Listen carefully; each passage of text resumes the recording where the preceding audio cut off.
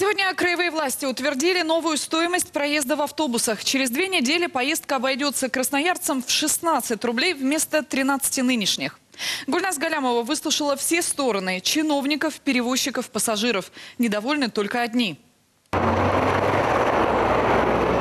С 10 ноября ценники на автобусах сменятся. Сегодня краевое правительство утвердило предельную стоимость пассажирских перевозок. Проезд подорожает на 3 рубля. Хотя еще две недели назад, когда принималась новая методика расчетов тарифов, министр транспорта Сергей Еремин уверял журналистов, существенного повышения не будет. Сегодня сам же признался.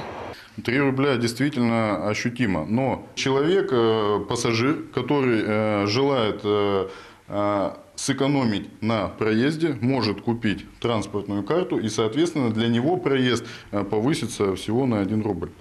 То, что для владельцев транспортной карты проезд будет стоить 14 рублей, еще не факт. Предложение только обсуждается. Решение должен принять город, а не край. Между тем, некоторые красноярцы понимают, подорожание было неизбежно. Топливо ведь не дешевеет. Но таких меньшинство. Большинству платить 16 рублей за проезд в городском транспорте жалко. Сильно дорого, тем более с присадками ездить. Конечно, дороговато для пенсионеров. Ну, что? И им как-то жить надо, наверное. Им это перевозчикам. Ну да, конечно, конечно.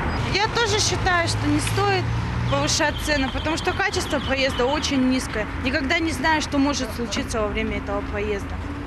Перевозчики требовали 18 рублей. Некоторые грозились не принимать транспортные карты, если их не услышат. Но сегодня о саботаже речь уже не идет. По мнению предпринимателя Константина Кнопнугеля, 16 рублей – тариф компромисса.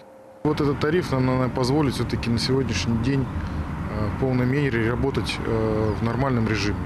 Но вы же просили 18. Да, но я еще раз говорю, что 18 рублей как бы нам позволило бы э, обновлять подвижной состав. Перевозчики говорят, требовали 18 рублей прежде всего для того, чтобы повысить зарплату сотрудникам.